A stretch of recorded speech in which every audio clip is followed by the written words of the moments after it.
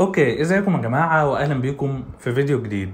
iPhone 13 العادي اللي Apple أعلنت عنه من كام يوم. هل في upgrade كبير يستدعي إنك تشتريه أو إنك تحدث من ال 12 لل 13 خلينا في الفيديو ده نعرف إيه الجديد في ال iPhone 13 وإيه الفرق بينه وبين ال iPhone 12 بس قبل ما نبدأ الفيديو ما تنسوش like share subscribe يلا بينا.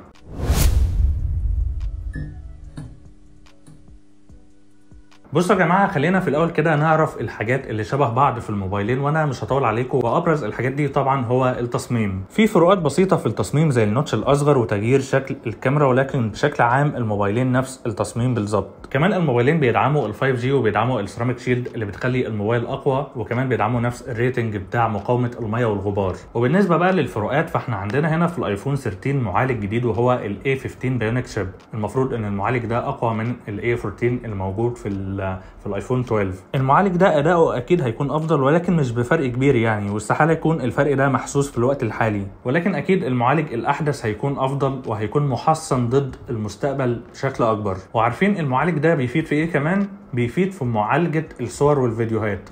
وده ياخدنا للاختلاف التاني أو الفرق التاني بين الموبايلين وهو الكاميرات. طبعا الكاميرات في الموبايلين ممتازة جدا ولكن في هنا تفوق واضح لل iPhone 13 وخليني أشرح لكم إزاي. أول حاجة عندك sensor أكبر للكاميرا وده معناه إن في نور أكتر هيدخل للكاميرا وتفاصيل أحسن و noise أقل وأكيد dynamic range أفضل. كمان عندك أسلوب المعالجة بقى محسن وبقى موجود السمارت اتش دي ار الجيل الرابع بدل من الجيل الثالث الموجود في ال iPhone 12 وبقى عندك تقنية ال sensor shift واللي بتديك ثبات عالي جدا في الصور والفيديوهات.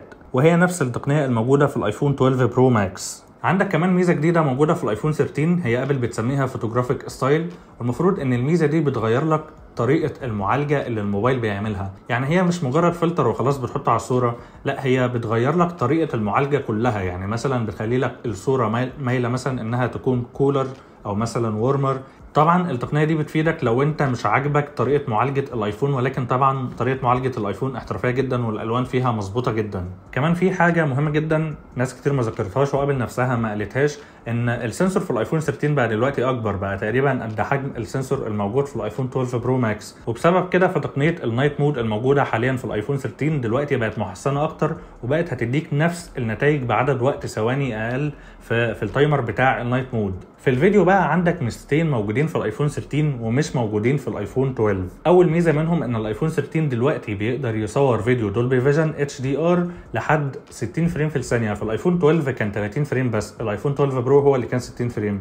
دلوقتي آه الميزة دي اتنقلت للايفون 13 العادي. هو يعني بصراحة أنا مش عارف Apple ليه ما حطيتهاش في الايفون 12 العادي ولكن هي بقت موجودة حاليا في الايفون 13 العادي. والميزة الثانية بقى في تصوير الفيديو الموجودة في الايفون 13 ومش موجودة في الايفون 12 هي طبعا ميزة ال cinematic mode أو آه الميزة اللي بتخليك تعمل وضع البورتريه أثناء تصوير الفيديو. وطبعا زي ما شفنا في المؤتمر فالفيديوهات كانت احترافية جدا ومش باينة إنها متصورة بموبايل.